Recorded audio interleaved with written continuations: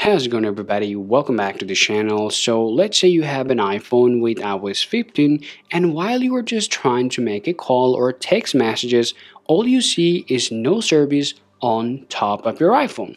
Now the question is why you are getting this problem and how you can solve this. Now this problem can happen either for hardware or it can happen sometime because of minor software glitches.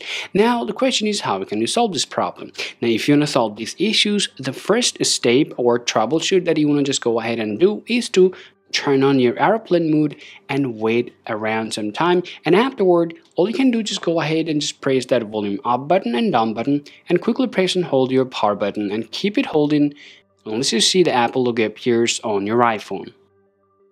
Now once you have done giving the force restart on your iPhone, if you see your problem is solved, congratulations to you, but if you are still having the same problem, the next things you want to just go ahead and take a look at is your SIM carrier. Now sometimes because of your SIM card uh, with the carrier can cause the issue. And all you can do, just go ahead and use a SIM ejector in order to just take out or eject your SIM and go ahead and place it back on after a while to check whether you're being able to solve your problem or not even after doing that if you're still having the same problem the next things you want to just go ahead and do is to call to the sim provider. You got to tell them about the problem that you're currently facing and hopefully they will solve the problem for you.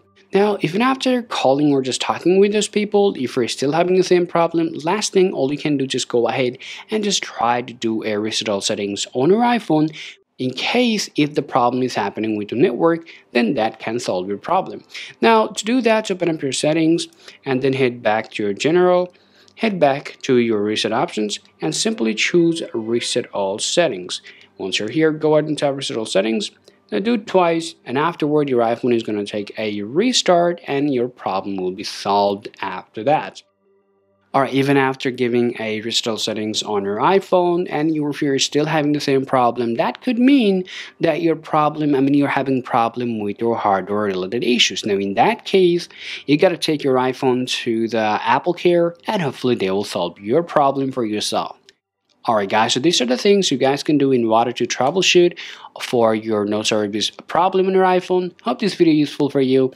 If you think so, be sure to leave a like and subscribe to the channel. Thanks for watching and we will talk to you later.